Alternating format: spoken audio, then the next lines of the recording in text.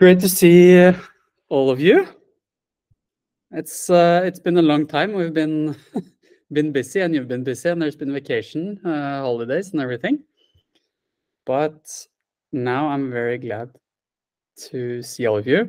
I'm very excited to share a bit about the new stuff which we have been building in Curipod, and also give you a little bit of sneak peek on on what's coming, and hopefully also get this. Hope I hope to get some feedback from all of you what we should focus on going forward as well. So I guess actually I can start by showing you a bit around in Curipod and showing you what's new. I think I want to show you three three things. First, new front page, which some of you, at least who have been using Curipod now in the beginning of the year, might have noticed. Uh, but we want to make it easier to find some of all the cool generators we're making. Uh, second thing I want to show you is some of the new generators we have created. Um, I think we're really being more and more intrigued about using the AI not only to save time, which is great, of course, but also to actually make new learning experiences, which are exciting for students. Um, and yeah, I'll, let you be the judges of, uh, of the new generators. And then finally, I want to show all of you how you can customize the new AI feedback function. Uh, I'm sure many of you tried tried it out, the first uh, version we made. Now we made it much, much better. One, we upgraded to the most powerful AI engines uh, we were able to, to find. Uh, so, you know, accuracy has gone up drastically, uh, much less hallucinations than previously and also the option for you as an end user to actually tweak it and make it uh, just as you want. So feel free to shoot some questions as we go in the chat. Uh, I'll try to pay attention to it. I'm really bad at uh, uh seeing what's going on. So if I miss it, uh, I hope someone else in the chat can answer. Uh, I want to show you around. So Okay, so now I'm on the front page inside Curipod. And for those who haven't been in for some time, you will see that, whoa, this was not a lot uh, to take in. But what we've been doing is basically making this whole page here to make it easier for you to find uh, the new generators and be able to filter by subjects, grades, um, and also within subjects, filter on some of these categories. And I'll clear the filter. Whoop. Also, we added in a way for you to find back to recent generators and recent lessons, etc. And then on the left-hand side here, we have what we had before, my lessons, where you have your library. So don't worry, it's not gone, it's still there. Uh, and the option to see all the results from your lessons, which I will also show you a bit uh, later, where we have some new ideas. Okay, so first, as you can see here, some of these are just added as of this year. Feedback from a historic figure, co-write the fairy tale, AI feedback in Spanish and English. Uh, I want to show you first this one, uh, feedback from a historic figure. So this is a mini lesson, so you can use it together with other uh, with other uh, generators in Curipod, or you can use it together with other content or lesson plans you have from before. But basically, it's an option to get feedback from an historical figure. So I will put in an historical figure. Uh, so I'll be a bit controversial just because I like this. So I'll put in a historical figure. Uh, or no, actually, I'll do just like name is like Ari, no, Leonardo Vinci. And then I can ask a question, for example, um, or actually do Isaac Newton and explain Newton's first law. And I'll click do magic. So now I'm basically making a lesson where uh, you get to ask a question to the students to explain uh, Newton's first law, and then the students will get feedback from Isaac Newton himself, almost. So here we go. Here we have him, recognizing the apple, and a little bit about him. Isaac Newton was a brilliant scientist who discovered gravity. Ever wondered why apples fall down, not up? Newton figured it out while thinking about the falling apple. Also invited calculus and studied light, helping us understand the world better.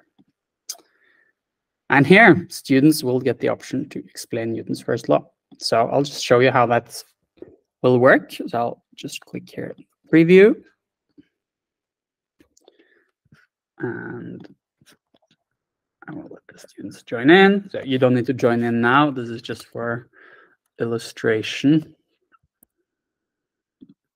And there I'm in, I'm at my name. Great, I'm in. So I'll go to Newton's first law.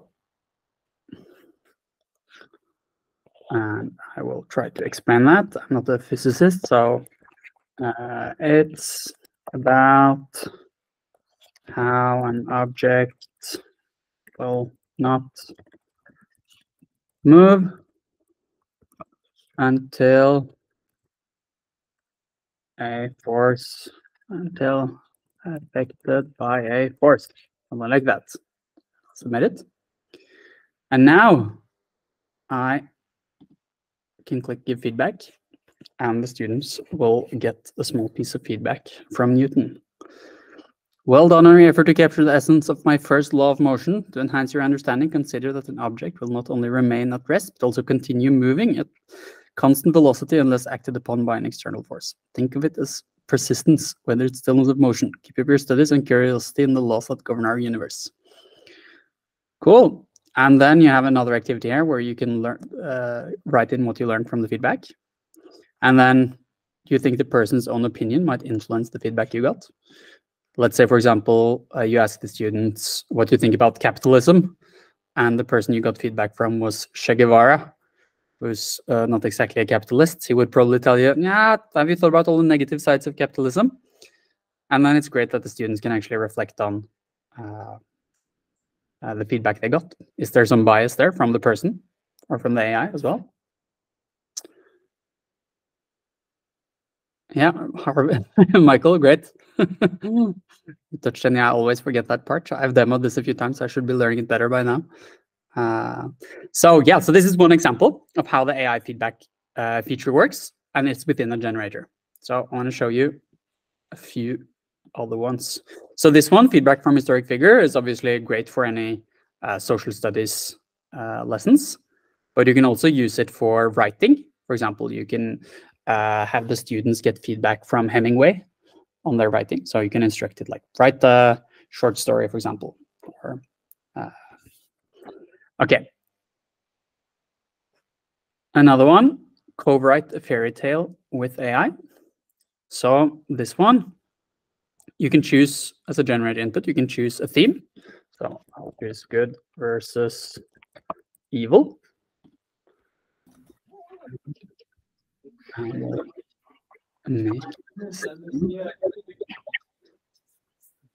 about answer for this lesson. Oh, sorry, just mute you, Myra, and you can and you can unmute yourself. um, so in this one, it's basically a, an experience where students get to co-write together uh, with an AI. So learning objectives, you can look through this afterwards as well if you want. But the idea is that the students will describe themselves as a person. So I would say like, I'm Jens, uh, I like sports, I'm from Norway, etc. And describe the setting of the fairy tale. For example, my favorite place is my cabin on the uh, in the south coast of Norway during summer. And then the AI will write a fairy tale based on that. So this is perfect for like grade third grade up till sixth grade, where writing a full fairy tale uh, is you know above their uh, the skill level. but then you get the motivation of actually reading all the fairy tales. We had the teacher posting, using it in the classroom and posting on Twitter that you've never seen the students run around for 20 minutes uh, reading. Uh, so that's another way to use the AI feedback feature. Okay, I'll show you a third one, and that is AI feedback in Spanish and English. So for this one, you can ask a question. For example, uh, write a paragraph about yourself for a fourth grade class.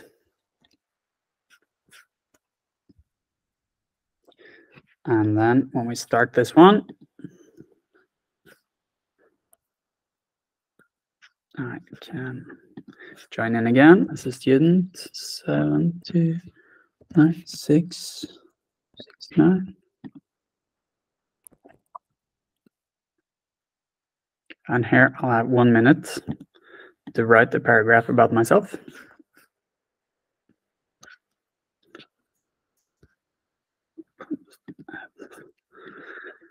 So my name is Jens. I'm from Norway. I'll add in some typos. I like sports and uh, hiking. Okay, short text. So now I will click give feedback and the students will get a short feedback from the AI. And now the AI is instructed to give feedback both in Spanish and in English. So if you have a class with different language speakers. So first the English one. Great start, Jens. You provided some nice basic information about yourself. To enhance your paragraph, consider adding more details about the sports you enjoy and why you like hiking, making sure your spelling of Norway is correct, and try to expand your thoughts into full paragraph with a few more sentences. And then you have the Spanish version. When comienza Jens? I won't read it all in Spanish. but the idea is that we can make sure that everyone in the classroom is included and get feedback. Okay, so now I've shown you three different generators. Um, but what I find really powerful is that you can actually program this AI feedback feature yourself. And you can either like instruct it to give feedback in whichever language you want. You can instruct it to take the role of a person. You can add in your own rubrics if you have specific rubrics, if that's Texas for the TEKS, or if it's uh, you have a specific standard you want to follow. Or you can uh, adjust the tone of the voice of the AI if you want simpler language for younger students, more advanced language, etc. You can also, for example, tell it to give feedback in the response the student has been writing. So let's say you want Spanish speaking students to get feedback in Spanish and the English one to get it in English, or the other way around, if you want them to be challenged in their learning. So I want to show you quickly how you can how you can build your own. So to build out your own AI feedback feature, you can click create lesson. And then I'll click here on create your own. And I'll choose the AI feedback activity. Okay, so now I added the AI feedback activity slide. And I can think about, I guess I have to think about two things. One, what I want to ask the students or what I want to instruct them to do. And then, of course, what I want the AI, uh, how I want it to be reacting. So let's say I want to make an example where it gives feedback in uh, English and French, for example. And I want the to students write a paragraph about yourself. Okay. Now, to be able to program this as I want, I need to go on the west left-hand side here, and then I need to click on the customize button. So the customize option here is the it's a premium feature, which I think all of you should have a premium access. If not, send me an email afterwards and I'll get you a code. I'm just checking the chat here if there's any questions. This is a question I should know the answer to, but I'm not sure with these new ones. They are still needing to be done live with entire class correctly, no asynchronous. Yes, it's still a synchronous thing, but I mean, you could ask students to write the text beforehand, and then they get the feedback synchronously in class. Um, so how this one works is first you have a few different templates. So also on the free plan, you can choose between ELA short answer, science short answer, or social studies short answer. But now I can take the ELA short answer one and I can click customize here. Okay, so now I get up a small prompting window. And it looks a bit complex at first sight, so don't worry, I'll take it uh, uh, take it slow. First, you have the system context instruction. This is where you want to give background info to the AI. So you can think about this as this will uh, basically count, I guess, like 20% as a ballpark into the entire prompt. So for example, here you can put in your, in this case, which is the default for the ELA short answer, you are an English language arts teacher. But let's say you're based in Texas, you might want to say you're an English language arts teacher based in Texas or in Illinois or California or in uh, Bergen in Norway, wherever you're you're sitting. Uh, and that gives it some some more context. So when it's in doubt, it takes it that direction. So let's say uh, you would ask the AI in the prompt, like, uh, uh, give the students feedback based on uh, a learning standard. If then you've put in the system context instruction that the teacher is based in Illinois, it will look there first. So for this one, I'll just keep this. You're an English language arts teacher. And here is the prompt instruction. So this is basically what is prompted to the AI when you click the give feedback option in Curipod. So you're a teacher giving a student very short and concise feedback on their work. Here's the question the student should answer. And then the prompt take in the slide question, and that is what's put into this box here. So the AI would read here, here is the question the students should answer, colon, write a paragraph about yourself. And then the AI will read, here's the student's answer. And then student response is what the students are writing in.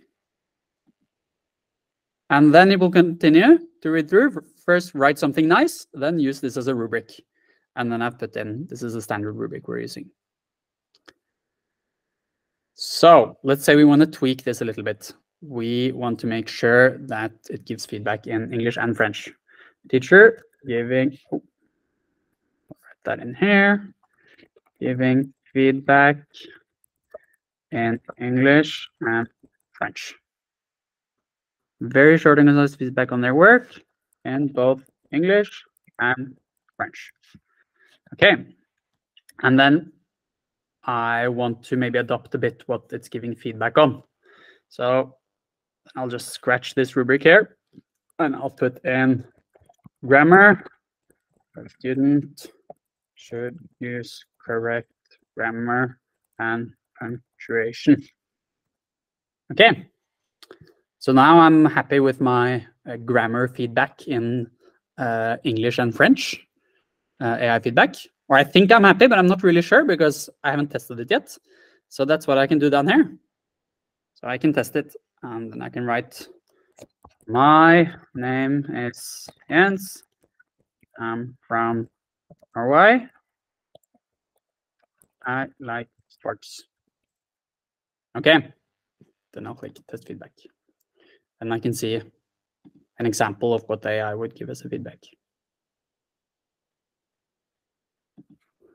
Okay, here, results, English. Great start, Jens. Just a small note, be sure to spell my and Norway correctly and expand on your interest to make a paragraph more informative. Yeah, I won't even try to reading the French, but it looks like it's the same. so that's a good start. Um, and here you can really play around, right? You can make it go, now I made it very short and concise, right? Let's say I wanted to expand a bit more. You can go up here, your teacher giving a student, I can just scratch that and just write feedback on their work and I can test it again and see. Now will probably come much more text. Might also take a bit more time for the generator to make it. So let's see. And now it's writing a full essay.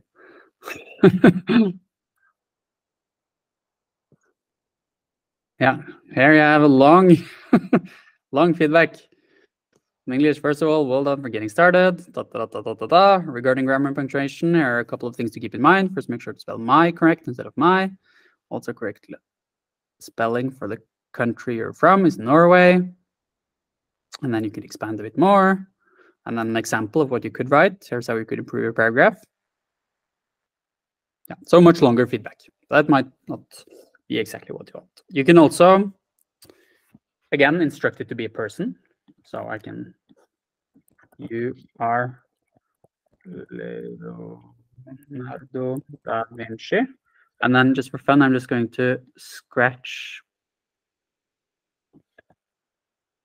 giving a student very short and concise.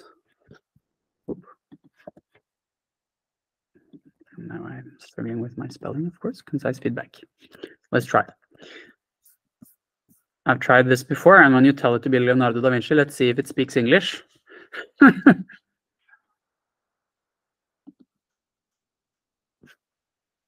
Oh yeah, you actually got it pretty quickly. I'll add it in here again to make it. So that's another. Oh, here I'm saying he's a teacher, so that's why. Leonardo da Vinci. Let's try again.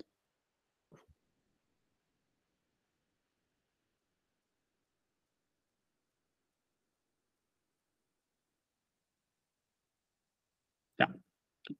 Wonderful to share a bit about yourself. Okay. A few other things. You can, of course, set the character limits. So how long you want the students to be able to write. And I think I'll stop there for a moment and